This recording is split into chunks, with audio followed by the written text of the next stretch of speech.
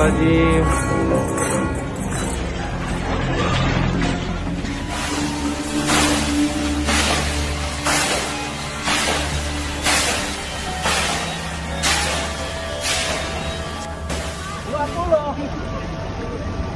Ini perjuangannya lebih jauh dari saya.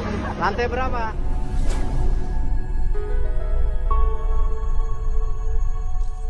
Bupati Pandeglang Irna Narulita tadi merasakan goncangan keras akibat gempa saat tengah menggelar acara dengan perwakilan Kemendagri. Akibat kerasnya goncangan, acara pun terpaksa dihentikan.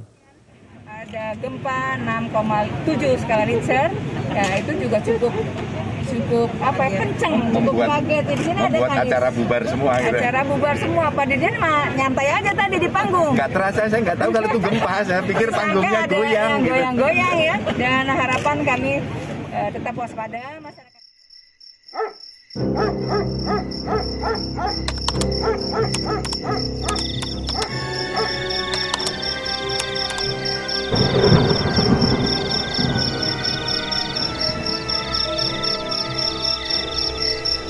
Sahabat, Cikesik dan Panimbang dengan intensitas guncangan skala MMI 6 artinya getaran dirasakan oleh semua orang. Dan di sini juga mengakibatkan kerusakan ringan. Tembok plester terdapat ter juga lepas. Labuan dan sumur skala MMI 4 yang artinya bila pada siang hari dirasakan oleh orang banyak dalam rumah.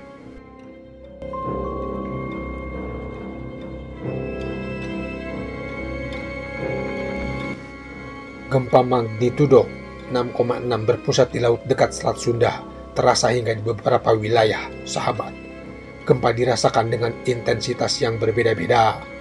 Kepala BMKG Dwi Korita Karnawati membeberkan dampak guncangan di beberapa daerah, mulai wilayah Cikesik, Jakarta hingga Bekasi.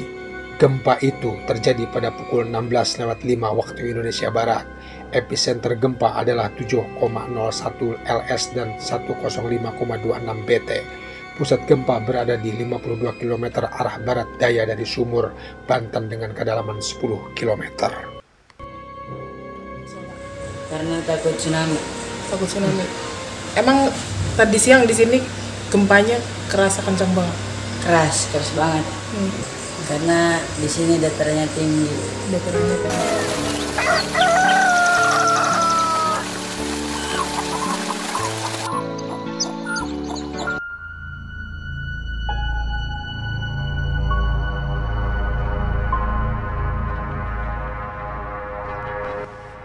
Sahabat, Cikesik dan Panimbang dengan intensitas guncangan skala MMI 6 artinya getaran dirasakan oleh semua orang.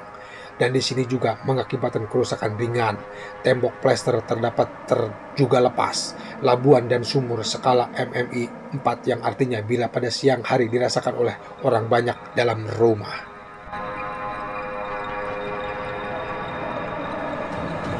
Gempa berkekuatan magnitudo 4,5 skala Richter terjadi di Gunung Kidul dan Pacitan.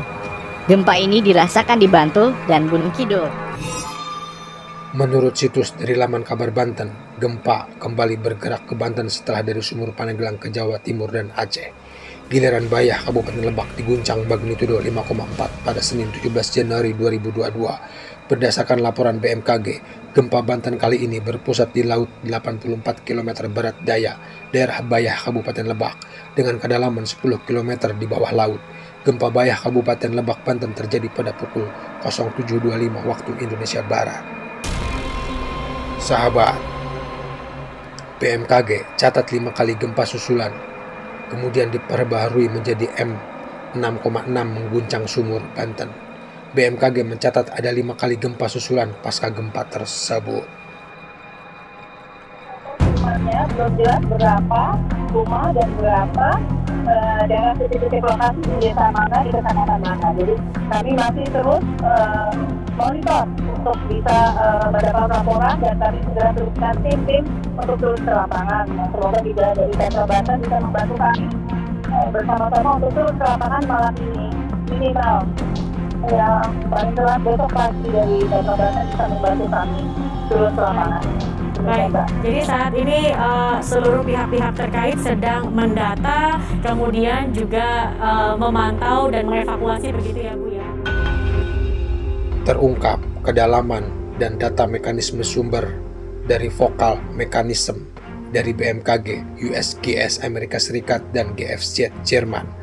Kejadian gempa bumi tersebut diakibatkan oleh aktivitas zona penunjaman lempeng dengan mekanisme sesar naik yang berarah relatif barat-barat Laut Timur Tenggara. Zona penunjaman tersebut terbentuk akibat tumbukan antara lempeng benua Eurasia dan lempeng Samudra Indo-Australia. Saat ini, tumbukan yang berbentuk sekitar zaman kapur sekitar 66 juta tahun yang lalu itu masih aktif hingga kini. Sahabat